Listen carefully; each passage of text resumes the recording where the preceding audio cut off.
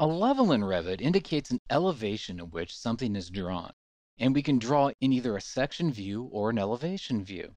To see these levels, under the project browser, scroll down until we find our Elevations building elevation. Then double click on South to open up the south elevation of our building.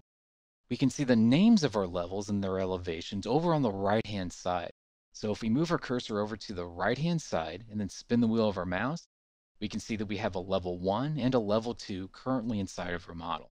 If we drew something on level 1, it'd be at 0 feet 0 inches off of the ground. If we drew it at level 2, it'd be at 10 feet off the ground. Also, each one of these levels has a floor plan that corresponds with it. And we can see those floor plans over here under the project browser. What I'd like to do now is draw in three more levels, each at a very specific elevation. But I really don't care when I'm drawing in the level at what elevation that I originally draw it in at. And the reason for that is it's very quick to change your overall elevation of your levels after they've been drawn. So just click somewhere inside of your view, spin the wheel of your mouse to zoom out. Underneath the Architecture tab, above the word Datum, we have Level. Select on Level. Over on the far left-hand side, when you get this blue dashed line, click, come straight over, and then click again. And then do that two more times. Click, come straight over, you'll get that blue dashed line, click again. Over, click, click again. Then hit escape a couple times on the keyboard to get out of the level command. Now we need to zoom in to our different levels. So just spin the wheel of your mouse to zoom in. Our next step is to set the height of each of the levels.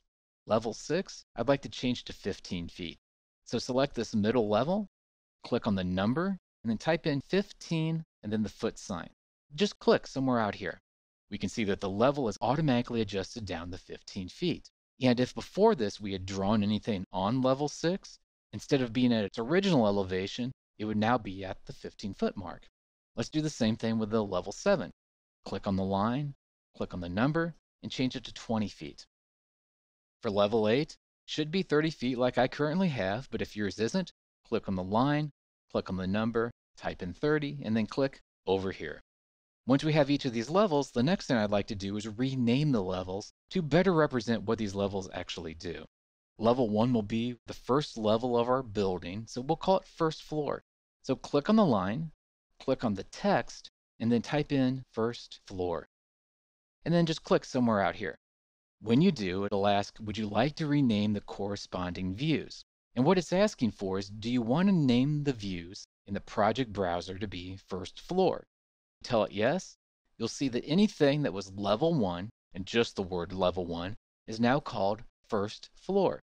If we scroll down to our ceiling plans, we'll see that it also is named first floor.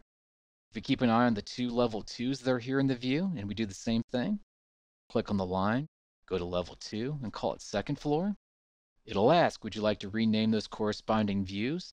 Yes. Over here, under the project browser, they're both called second floor.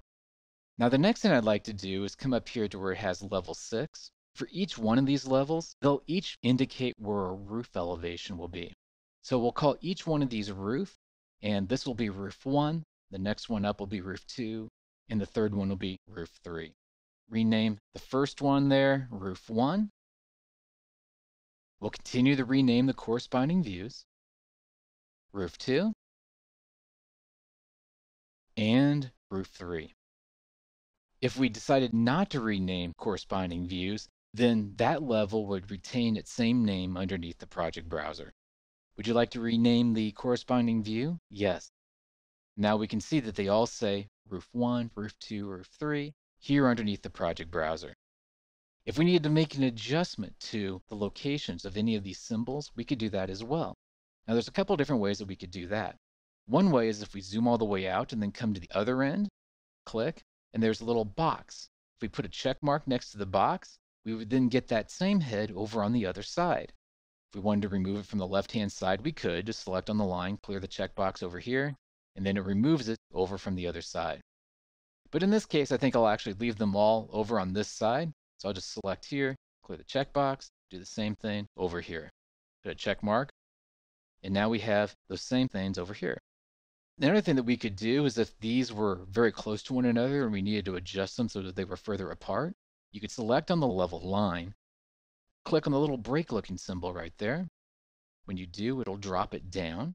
So give you a little bit more space in between the different level names. Then if you click and hold your mouse button down on the dots, you can drag these back in order to gain further separation. We can see no matter where this goes, it's still at the 10 foot mark. If we select on the levels themselves, and you can just pick on one for this, and you'll see a little circular shape. Click and hold your mouse button down on that circle. You can then pull it in one direction or another, and then all the ones that were directly lined up with one another will move along with it. If we only wanted to move one of them, we could do that too. Just click on the level we wanted to move, click on the little padlock there to unlock it, then click on the circle, and then we can just move one of the levels out independently from all the rest of them. But if we ever line them back up again, we can see that they automatically lock into alignment, which means if we decide to move them, they'll all move in unison one more time. And the final thing I wanted to show is if you did place something on one of these levels and then adjusted the height, it would move up and down with it. Now we'll just place something on one of these levels temporarily.